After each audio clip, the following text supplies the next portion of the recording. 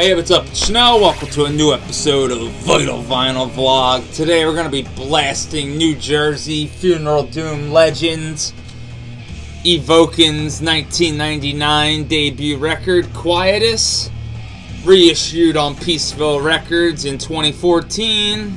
So heavy, so fucking good. Awesome artwork by Steve O'Malley. Well, this collage of stuff is just really cool, and I love this fucking, like, just, I don't know, that's so sick to me. It's one of my favorite art pieces on this uh, collage of Doom here. But this is an East Coast Funeral Doom essential listen right here. It's so fucking good.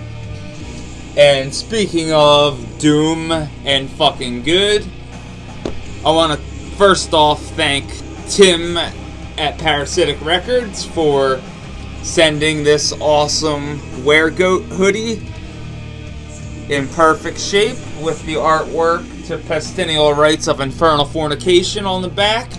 My mom was real stoked on the uh, artwork. I was like, "You saw the poster before?" She's like, I'm, "I don't want to be seen with you with that. That that that's disgusting." I was like, Satan needs, you know, the weregoat needs women too. And she's like, you're an asshole. Oh. I'm like, I, I can't help it. I'm sorry. I love Weregoat. It's like one of my favorite bands. And Tim Call is one of my favorite dudes in the extreme metal underground. So I want to support everything the dude does. He did not need to throw this CD into my package, but he's a nice guy and he fucking did. So now I have the self-titled amazing debut from Sepiternal Dusk, and I know I butchered that title, but holy shit. This right here, I've listened to it multiple times digitally, and I need to pick up the vinyl, but this was an awesome gift from Tim, and holy shit, is this an awesome awesome fucking debut album. There's one track on here that's like a minute and 27 seconds. It's pretty much an outro. And outside of that, most of your songs are around the 10 minute range. And oh my fucking god.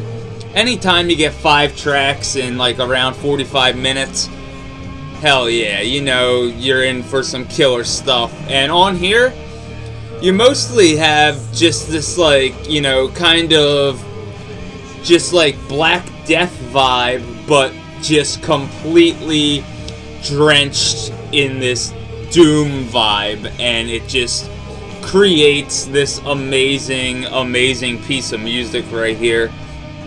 You see no one's going to help you which is actually a sample that starts things off on here and it's a sample that can be taken many, many ways, but nobody's gonna help you from the fucking oppression that this listen will bring to you. Seriously. As soon as Moon Beneath the Hook Cross starts, yeah, you're gonna be fucking legitimately hooked. And uh, you have Streams of Night upon the gallows of Perihelion Seclusion of the Bereaved, and Urn of Dawn. Again, this is one of those albums that just came at, you know, a perfect time in my life. I'm dealing with a loss that I still have not come to grips with. As much bullshit as I might talk about it and, you know, act like everything's fine, it's really not. Like, my dad's not downstairs, and the reality of it should have hit in by now. And today's my birthday. Yeah, I'm 30 fucking 3. And, uh, yeah, I kind of don't want to talk about it on here because it is, you know, very, very personal, but I'll put it this way. Thank you, Tim, and uh, Supernal Dusk and the self-titled release on Dark Descent Records because I know the more and more I spin this, the more it's going to help with my current situation and coming to terms with losing my father because it still feels like I'm in some kind of bad fucking dream. And for Tim to send, you know, this fucking slab of Death Doom with this awesome, like, blackened edge to it is just probably one of the better, you know, gifts that I could get right now because it really, really just hit me where it needed to right here. Like, when I was listening to it and reading the lyrics and stuff, like, especially, like, like I said, it's just one of those albums, like Moon Behind Hoof, I meant Hook Cross. It's just wow. Like gray funeral fog under mist of blue and silver, fading, dimming lights of natural horror, horror, seal of iron, ritual dawn, apocalyptic last stand, treading wake in silent glass. Yeah really, really serious shit. I love the art direction on here as well. Great, great stuff. And the cover art on here is by Anne O'Neill. I just fucking love it. Very, very simple. Pretty much sums up, you know, the whole entire album right here. Like, you're getting this killer death metal that's doom laced and alongside this like really creepy sick side of blackened heaviness and it all works out and it's fucking great. Like the vibrations of blackened proportions on here are fucking sick. Like the riffs oh my god so fucking good. The vocal delivery again so fucking good. The riffs everything especially the drumming. But that's what happens when you get members of Weregoat, Nightfell, Aldebaran, Warwolves, The Howling Wind, Ritual Necromancy. Fucking wow, again.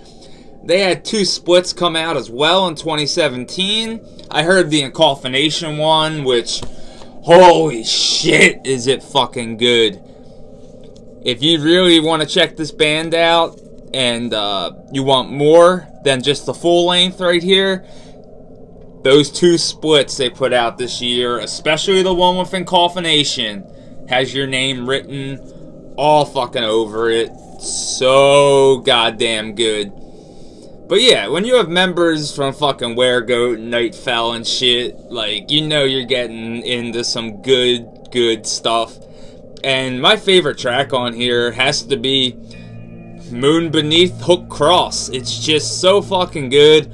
Alongside like Streams of Night, which has this amazing, amazing semi-vastum autopsy sounding riff around like a minute and 30 in, which is just so fucking good and grabs your attention and you know drags you right down to hail death alongside the rest of SD and fucking awesome hymns of death and doom right here. I can't wait for another full length from these guys. Like I said, those two splits were amazing, but another full length, fuck yeah, I understand. These dudes are busy as fuck. I mean, there's a new Ritual Necromancy dropping this year, so definitely looking forward to that. The new Weregoat was absolutely amazing. I really, really have my fingers crossed for a new Nightfell. I was listening to Darkness Evermore yesterday and just forgot how fucking good it was. But Sepulchral Dusk, self-titled on Dark Descent Records. This is some pure fucking fire. And uh, an awesome gift from Tim at Parasitic Records and something I need to snag on vinyl because I could see myself spinning this for a very, very long time. Awesome artwork. Kind of has a disembowelment vibe to it. I like it. Especially with the font and stuff. It's fucking sick. Definite. Like, whoever did the art direction, I'm not sure if it's the same woman that did the cover art um, okay, the collage is actually done by Tim and uh, Jay Stubbs. Fucking A. Photos by Tim Call. Hell yeah. Tim's a fucking man. Where'd you get these skull photos at if you see this, Tim? Or I'll just, I'll hit you up on Messenger or something, because this shit is sick. And this collage is awesome. That's what I mean. I love the fact that the whole Portland and, like, Oakland scene stick to, like, the DIY, like, punk crust ethics and stuff when it comes to putting out a lot of their releases and shit. Like, you'll notice stuff like this. I mean, this is just an example. i I showed this yesterday as well, the way Extremely Rotten does it. Dark Descent does it too, Hell's Headbangers, Nuclear War now. But getting just like postcards of upcoming releases and I really, really just love the DIY kind of, you know, cut and paste collage deal a little bit more than I like the fancy, like, here's an old relapse one from 2004, because Mastodon Leviathan and Miss Machine are on here. And I don't think the new Nile had came out yet. No. And this is when they still had the amazing retail store. But, um, yeah. you used to have to, you know, kind of rely on these colorful, you know, things. I kind of like getting the black and white and, you know, just real, just fucking DIY, crusty, just influence when it comes to, uh, you know, collages and stuff like that, especially promo stuff. But the art direction on here, A fucking plus, man. Tim just rules. That's one of those dudes I feel can do like no wrong. Every band he's in is fucking great. I feel like everything he touches is fucking golden, and he's just one of those dudes that can just be in every style of band and, you know, hit the fucking nail in the Christ wrist every time. It's great. And Septentrial Dusk, fucking, you know, bring the heaviness on this death doom slab of awesomeness. Again, I really, really need to snag this on vinyl because I'm in love with it at the moment. And my CD player fucking sucks. But still, wow. Wow and wow. All five of these tracks are just complete and utter A-plus material.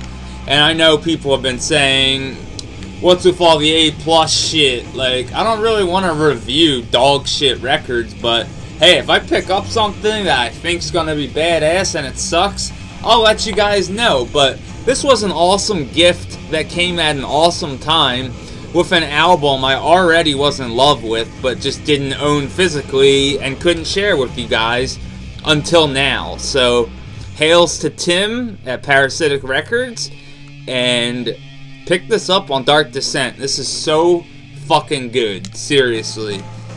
And, uh, yeah, as always, thanks for watching. You guys fucking rule. We've been blasting some Evoken Quietus. Their 1999 debut record. So fucking good. Hails to Pat Hopkins for this gift. It's crazy. I'm 33 years old. Absolutely insane.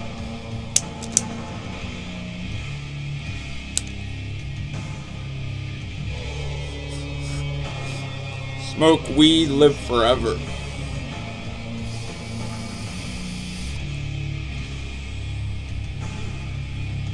But yeah, thanks for watching. Don't do drugs. Hails. Just smoke weed.